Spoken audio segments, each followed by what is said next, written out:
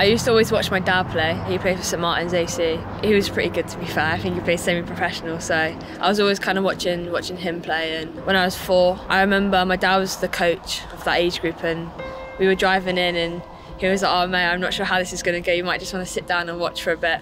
I'm not sure how the boys are going to be with you, but yeah, I was straight in. Didn't need to watch or anything. I didn't know any difference. I loved it. Credit to the boys back home. Like, if they didn't just see me as another footballer, I wouldn't be where I am today.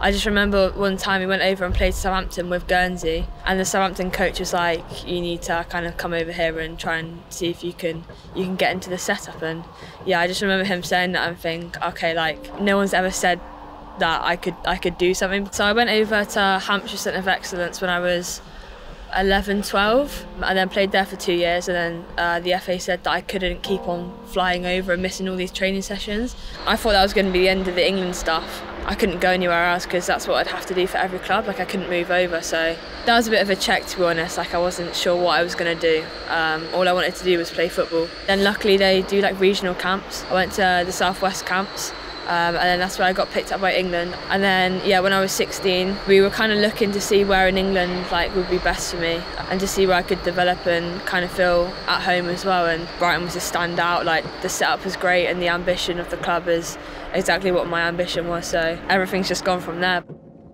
I'd say like the the biggest people who kind of helped me into the club were Amy and Hope. Obviously, she came through our, our DCA, our pathway, and there, there's always a bit of a standout, isn't there? She stood out physically, she stood out in terms of her, her playing ability. She was just further in front than, than most of the players. Kept an eye on her and then slowly but surely introduced her into the first team environment.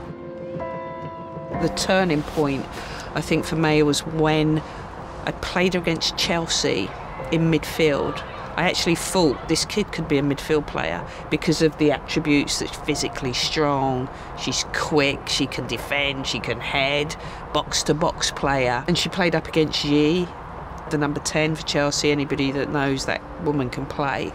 And Maya was not phased. It was unbelievable, like probably just chasing Ji around the pitch for most of it. She didn't foul to impress and I think from there just kept her in. This kid's going to be a player. And it's turned in inside the six-yard area by Maya Le Tissier. Well, what a season she's had. Her performances have been very, very consistent for a player of her very young years, but her maturity on the pitch and her contribution this season have been been magnificent for a player so young. I've just been working hard and keeping my head down and listening to the staff and just trying to improve my improve, improve my game wherever I can because obviously I always want to be playing, I always want to be on the pitch, um, starting the games and kind of trying to make a difference. I think if she takes the advice that we're giving her, i.e., rest and recovery is important, and she's always receptive to learning, which I know she is, she strives to be better every day, I think she will make a top class international player.